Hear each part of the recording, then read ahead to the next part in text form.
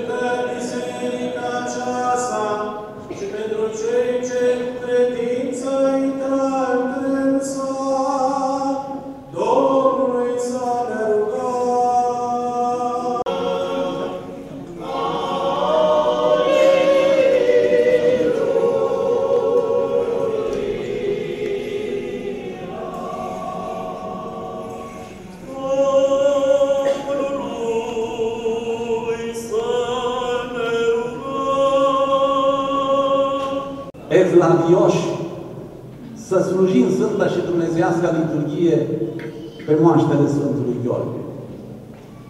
Și acest lucru s-a întâmplat în toți acești ani și ne dăjduim să se întâmple și de aici înainte cât Dumnezeu ne va îngădui. Dar, dar, mai mult decât atât, a îngăduit Sfântul Gheorghe să vină o părticică de acolo și aici la dumneavoastră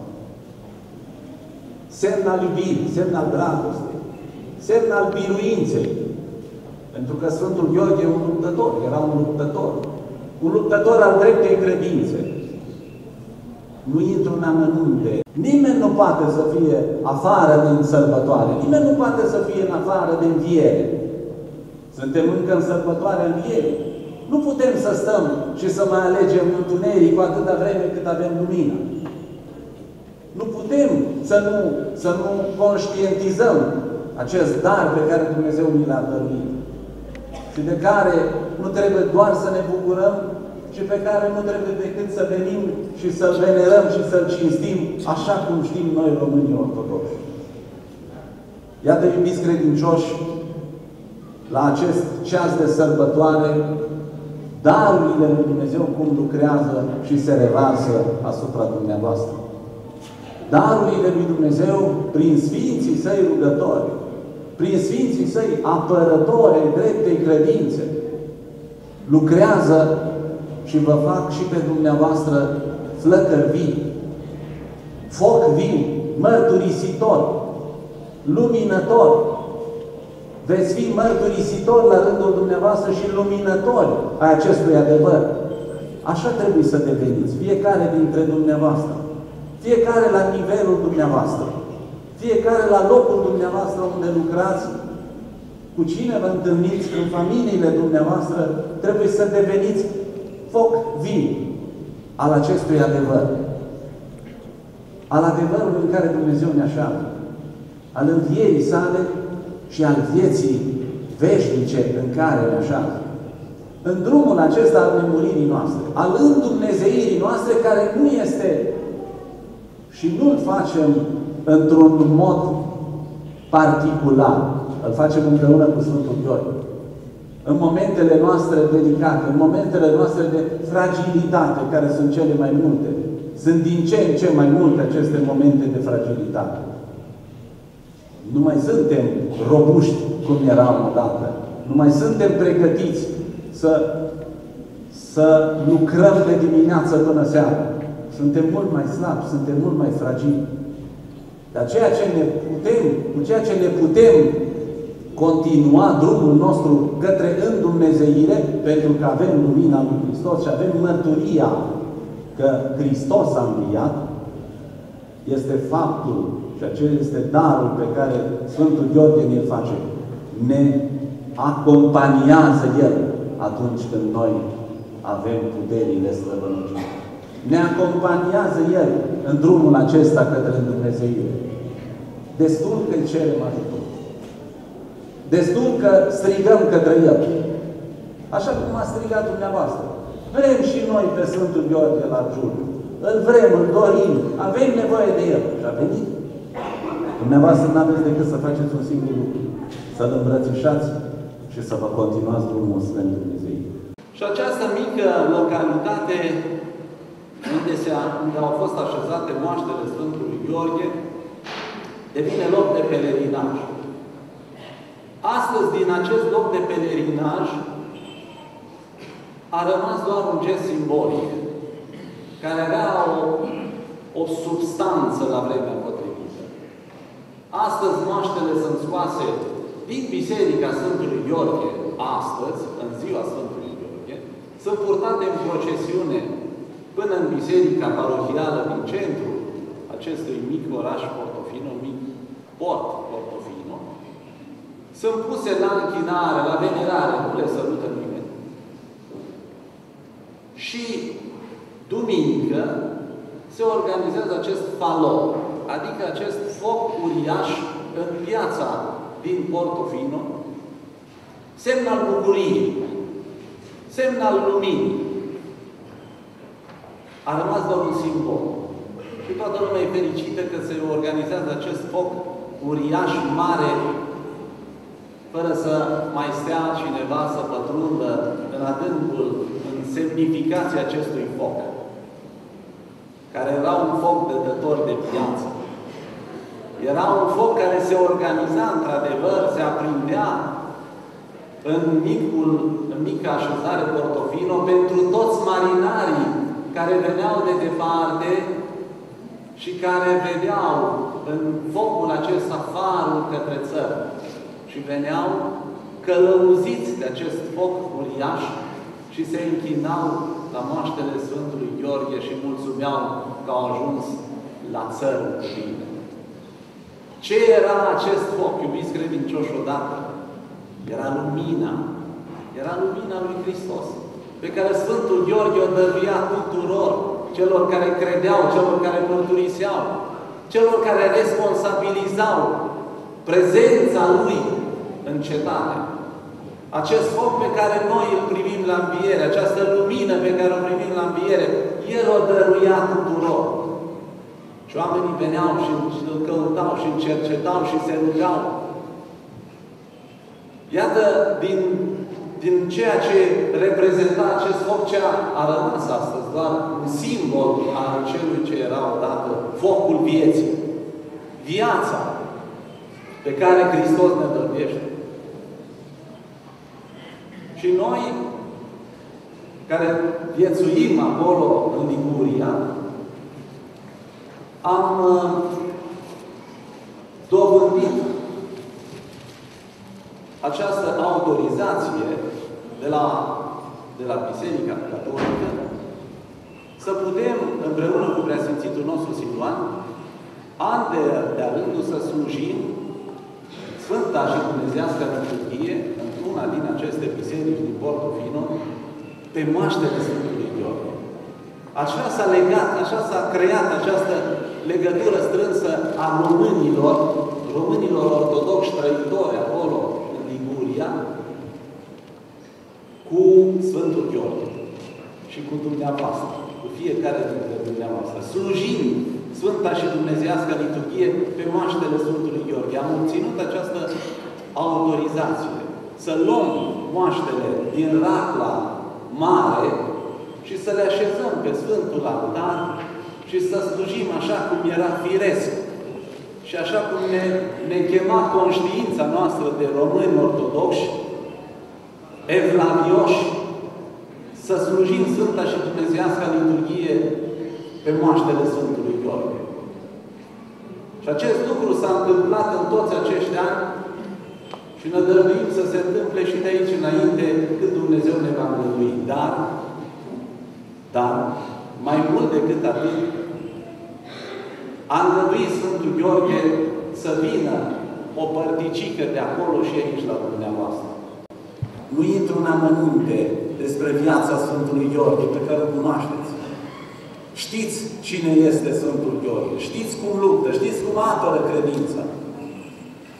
Iată că acest Sfânt Gheorghe, apărător al dreptei credințe, apărător al cetăților Genuvei și pe urmă al cetății Portofino și al tuturor celor care merg și se închină și se roagă acolo, devine și apărătorul cetății Genuvei. Și aceasta nu este o minune. Și aceasta nu este un dar de la Dumnezeu. Nu este lumina pe care o mărturisim în această perioadă. Nu este lumina învierii noastre. Dacă avem lumină, nu mai suntem în întuneric. Dacă avem lumină și mărturisim lumină, înseamnă că suntem responsabili de ceea ce ținem în mână. Înseamnă că suntem responsabili de ceea ce Dumnezeu ne-a dăruit nouă aici la Giurgiu. Iată, iubiți credincioși, la acest ceas de sărbătoare, darurile lui Dumnezeu cum lucrează și se revarsă asupra dumneavoastră. Darurile lui Dumnezeu prin Sfinții Săi rugători, prin Sfinții Săi apărători în dreptei credințe, lucrează și vă fac și pe dumneavoastră flăcări vii. Mare și multă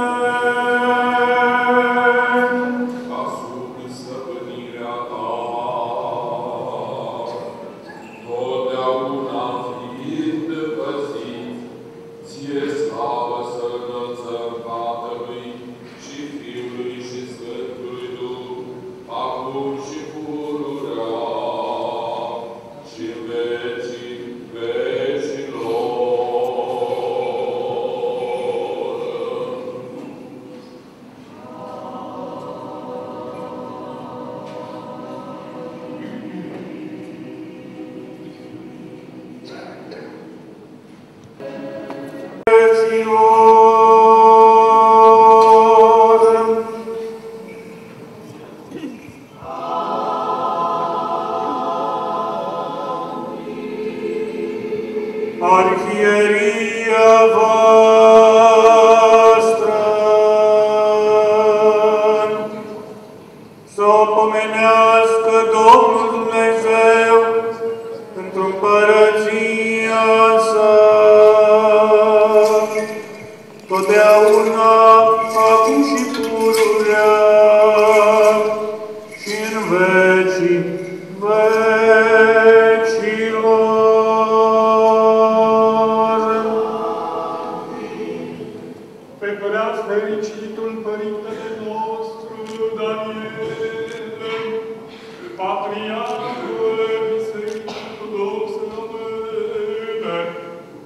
să-L pomenească